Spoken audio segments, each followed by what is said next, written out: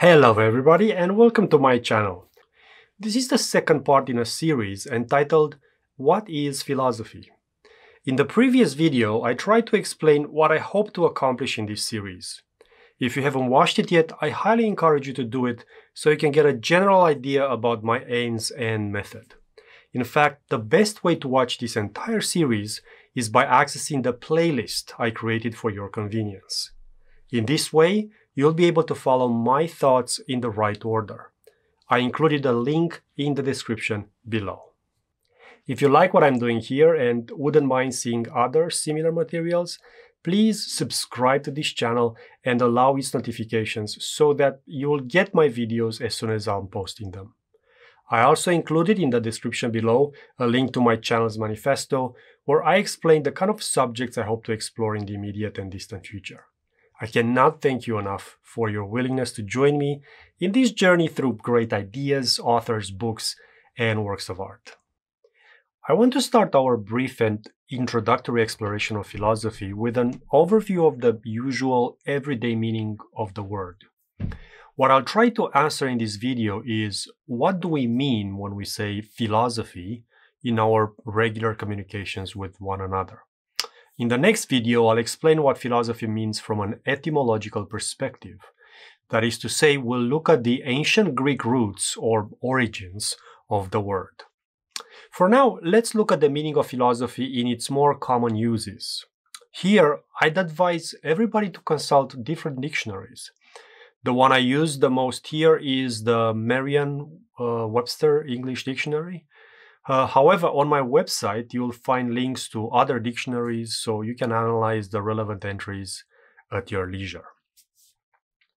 Specifically, there seem to be three distinct understandings of philosophy in our everyday language. The first one is philosophy represents the worldview of an individual or a group. Once again, philosophy represents the worldview of an individual or a group. But what is a worldview and how does one come about it? In general, a worldview is a set of ideas, concepts, and attitudes which can be conscious or unconscious and which express fundamental beliefs. As you will see, there is more than one worldview.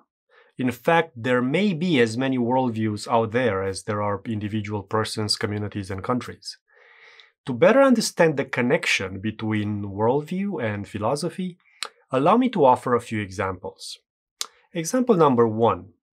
No group or community could exist without a moral outlook, that is to say, without a more or less clear understanding of right and wrong, good and evil. Such commandments as you shall not kill, or you shall not steal, or you shall love your neighbor as yourself are not random. They claim that murder and theft are wrong to be punished whenever they occur. They also claim that doing everything possible for one's fellow human beings is commendable and exemplary. Being good is the right thing to do, whereas doing evil must be avoided at all costs. This is an expression of an ethical worldview and therefore a distinct philosophy. Example number two. The same can be said about religion. There are many worldviews that proclaim that there is one or more gods, that there is a fundamental connection between the world as we experience and know it and the divine and that we humans must pay an unconditional respect to that fact.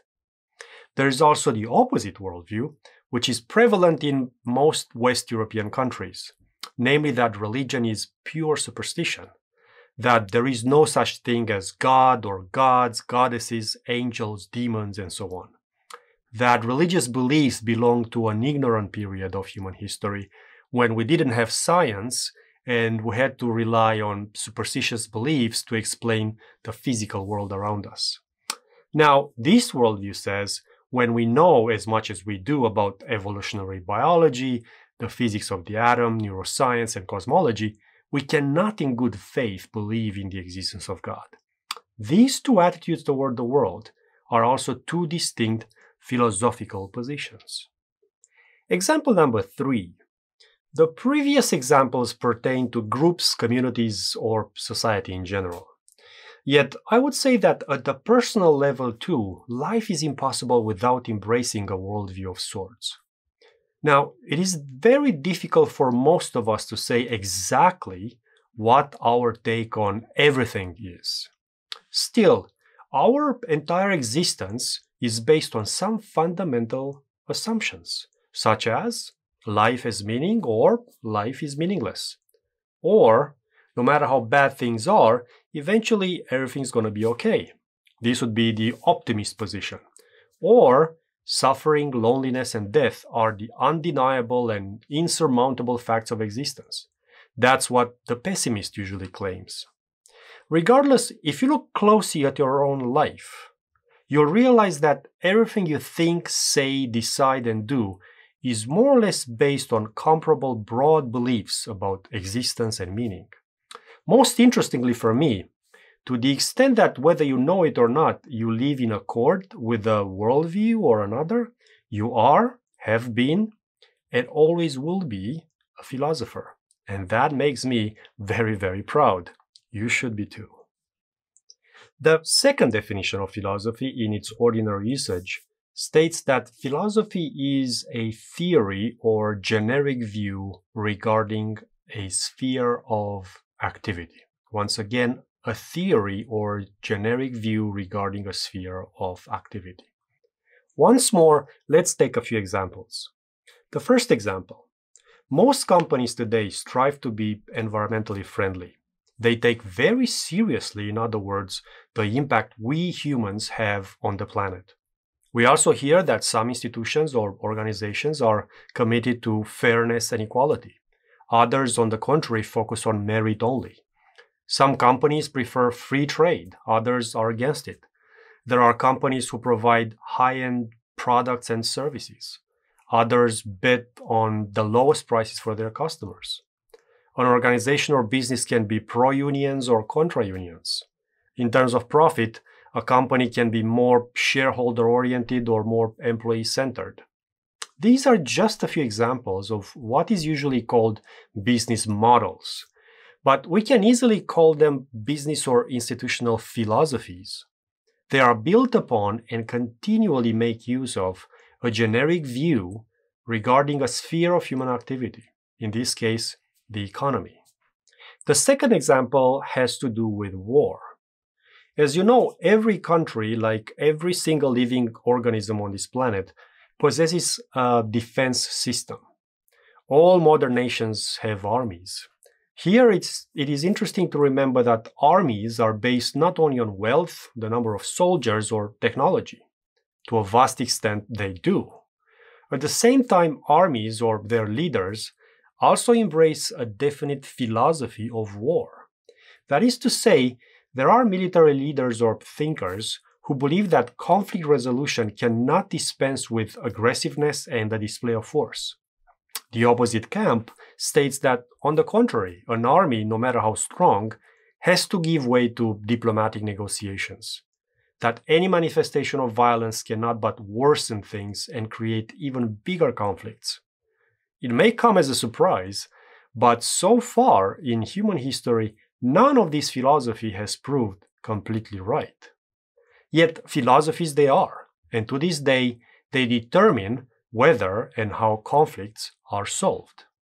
The last example here has to do with the country's view of justice and politics. Today, we live in a world which unconditionally believes that justice means individual human rights. However, it hasn't always been like that. In fact, until approximately 200 years ago, it was the collective, the tribe, the kingdom, the country, which mattered the most, while the needs and interests of the individual were totally subordinated to it. The same goes for democracy. Modern times seem to confirm the thesis that democracy is the most acceptable or the least harmful form of government. Yet, politically speaking, human history abounds in non democratic types of government. For instance, tyranny, oligarchy, theocracy, absolute monarchy, or in more recent times, dictatorship. Every single one of these types expresses a generic view or philosophy regarding the judicial and political spheres of human activity. It's now time for the third and final definition. And here we return to the personal level. You've probably heard or read the word philosophy used in a following sense. Quote, you just have to be philosophical about losing some games because you can't win them all. End of quote. Interesting, isn't it? To define this particular meaning more precisely, I'd say that philosophy represents a psychological attitude of emotional calmness and non resentful acceptance when faced with evil or misfortune. If you don't like my definition, here's how the Cambridge English Dictionary puts it. Quote, if you are philosophical in your reaction to something that is not satisfactory, you accept it calmly and without anger, understanding that failure and disappointment are a part of life. End of quote. In other words, when you are expected to behave philosophically, you must calmly accept and resign yourself to an unfortunate situation or a traumatic event. The same attitude of serene resignation is advisable in relation to one's fate and mortality. Please note that, thus understood, philosophy is no different from psychotherapy because it shows you a way to efficiently deal with pain, loss, frustration, and even death. Moreover, being philosophical in this sense implies knowing the limits of what one can and cannot do in a given circumstance. Third, philosophy appears as synonymous with wisdom. We'll take up this particular meaning in the next video, where we'll discuss the ancient meaning of philosophy as love of wisdom. Thank you so much for watching and see you soon.